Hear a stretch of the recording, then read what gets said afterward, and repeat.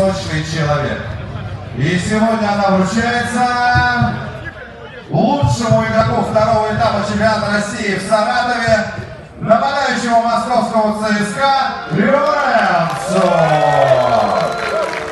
Лоренс Гомес, лучший игрок второго этапа чемпионата России по пляжному футболу. Награду вручает начальник отдела пляжного футбола Российского Сергей и главный редактор проекта bsrussia.com Иванова Юлия.